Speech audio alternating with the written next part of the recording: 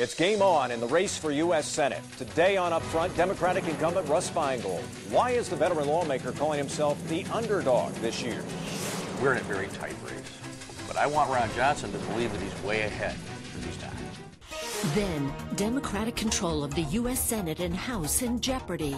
Congressman Ron Kind on his bid for an eighth term and the tough political climate for Democrats. And the secret of Comedy Central's Daily Show revealed how they get people to play along and play it straight. It's all this week on Upfront. Honest, candid, insightful. This is Upfront with Mike Gousha. Hello again, everyone, and welcome to Upfront. When you've been in the U.S. Senate for the last 18 years, how do you end up the self proclaimed underdog in your bid for reelection? Democratic incumbent Russ Feingold used the underdog label last week when he described his race against Republican challenger, Oshkosh businessman Ron Johnson. But Feingold also said it's a role he doesn't mind. What does this say about Feingold's race and the overall political climate for Democrats this year as they try to retain majorities in both the House and the Senate? Last week, we talked with the challenger in this race, Ron Johnson. Today, we're joined by Democratic Senator Russ Feingold. Senator, it's good to have you back on the Good program. to be on, as always. Rasmussen comes out with a poll on Friday morning, shows you down by seven points. Now, I know Democrats don't believe Rasmussen, so Have some skepticism. that, yes, I know you're skeptical about that. But but let me ask a very blunt question: Are you in trouble? We're in a very tight race. And we have a poll that we've done just in the same time as the Rasmussen poll that shows just the opposite. But I want Ron Johnson and his buddies. Shows you with a lead. Absolutely. But I want Ron Johnson to believe that he's way ahead, because he's not. And the fact is, our organization is just everywhere in the state. The response that I'm getting from people is among the best I've ever received in my career. So in the end, this thing's going to be very close. But the reason I like to think of myself as the underdog is when somebody is trying to just buy the Senate seat with up to $15 million, and people come up to you and say, gee, why does he have so many ads? And I just remind people that every time I've run, I've been outspent overall. And the result is, of course, is that people get a little nervous, they get a little concerned, but they work their tails off. And we're going to work them into the ground. We're going to get the votes out, and um, I feel good. Our momentum is excellent. You said he wants to buy the seat, but but he's hardly the first rich guy Oh, that's to run right. for elected office. I mean, let's face it, a colleague and a guy you have re- respect for, Senator Herb Kohl, spends a lot of money on elections. I mean, is that is that something that sticks with voters? Do they buy that? That Oh. he's trying to buy the election? Herb Kohl did debates. Herb Kohl was willing to come out and face the voters. Uh, we got a situation here where Mr. Johnson refused 12 debates with Dave Westlake. He was a stealth nominee at the convention. Republican candidate. Mm. We offered, we accepted six debates, as you know, even before the primary. He's not going to do them. He's not showing up for Eau Claire. I'm going to be in Eau Claire on Sunday. He doesn't want to do a debate until October 8th. So here's a guy who said he was running for the Senate and he would do whatever it takes to win. But apparently it just involves sort of negative campaign ads that, that basically involve name calling. In fact, the phrase that Mr. Johnson likes to use is he said, I, I decided to get off the sidelines. Problem is, he hasn't gone into the playing field. He's hiding under the bleachers. He's going to do three, though. He's going to do Three three, debates. debates. He won't do one anywhere in western Wisconsin. He won't do one anywhere in the Fox River Valley. And he won't do one until October 8th. What does that tell you? Why, why would somebody not be ready to stand before the people of Wisconsin and debate? It's because he doesn't have any real plans to help fix the economy. He doesn't have any real plans to reduce the deficit that he likes to talk about. And he has some pretty extreme views on things like Social Security and Medicare. So he doesn't want to face the music. He wants to hide under the bleachers. Let's pick up on that point. On election night, you congratulated Brian Absolutely. Johnson Gave him and, a then, call, and, yep. and then referred to him as an extreme partisan. And you said that when it comes to kitchen table issues, he's out of touch uh, with the people of Wisconsin. He says his campaign is about repealing health care reform, which a lot of Americans do favor. Uh, it's about reducing the nation's debt. It's about cutting taxes and cutting spending. How is that extreme? How is that out of touch with Wisconsin's people? Oh, it's very extreme to claim that you care about the deficit and then advocate huge tax cuts for upper income people that will only increase the deficit. It's the complete opposite of that. But even worse, here's where the real extreme comes in. Jobs are about what has happened in this state. We have lost 50,000 jobs in this state. Ron Johnson supports NAFTA and GATT and the China deal that shipped our jobs overseas. I opposed all of them. But it's even worse. This is how extreme and out of touch he is. He referred to those as good things because they are examples, as he, said, of creative destruction. That's the phrase he used at WisPolitics in Madison. Creative destruction of Wisconsin jobs. Now, that's very extreme.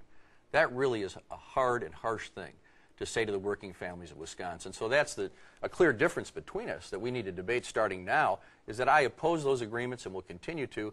He is basically supporting policies that have helped the jobs go to China, and that's a disaster for Wisconsin families. His argument is he knows how to create jobs because he's a businessman, and you have chosen a career in public service.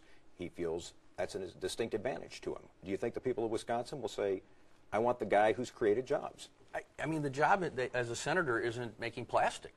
The job is to figure out what are the best policies to protect jobs. I would think a guy who's created jobs, and I give him credit for that, would be in favor of keeping our jobs here in Wisconsin. But he's happy to pass these lousy trade agreements, and he wants more of them that will ship our jobs overseas. I'm absolutely certain that the people of Wisconsin don't want a senator who's going to continue that policy. That's an extreme anti Wisconsin view, and I'm going to hold him accountable for it if I can ever find the guy uh, because he stays away from, uh, from a real debate.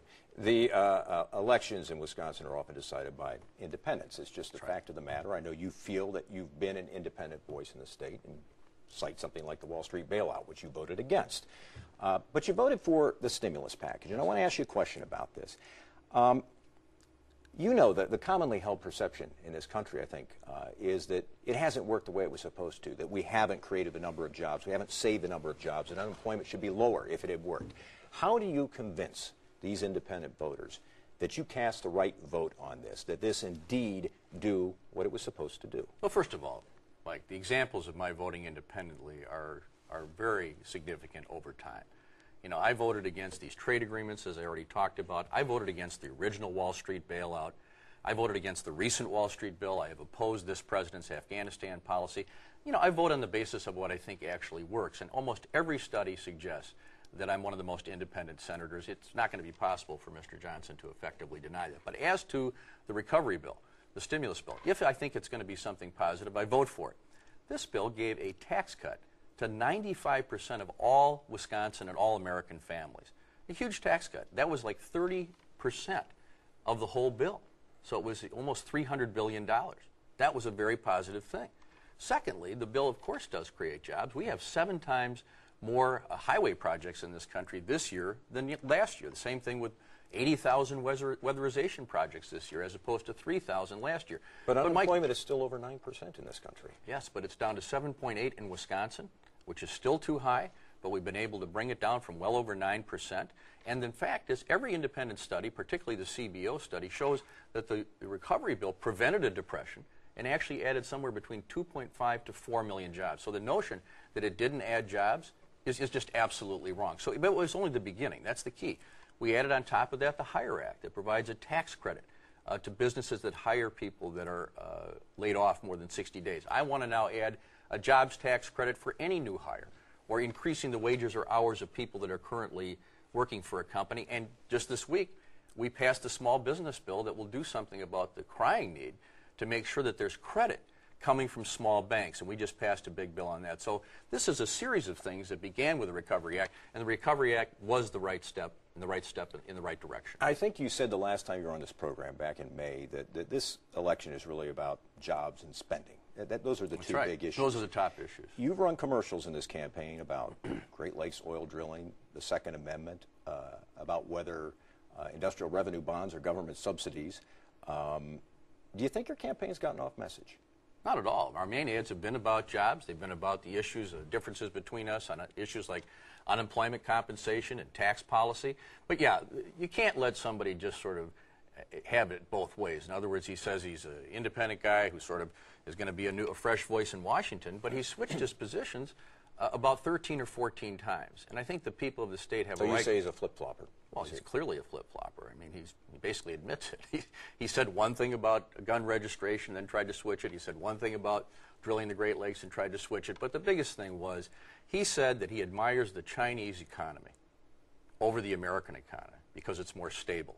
And then he had to try to back off of that. But the fact is, those are his real instincts. His instincts have to do with taking the chance of losing the jobs of hardworking Wisconsinites, sending them over to China. And I'll tell you something, I am going to point that out to the people of the state because they need to know who they're going to elect.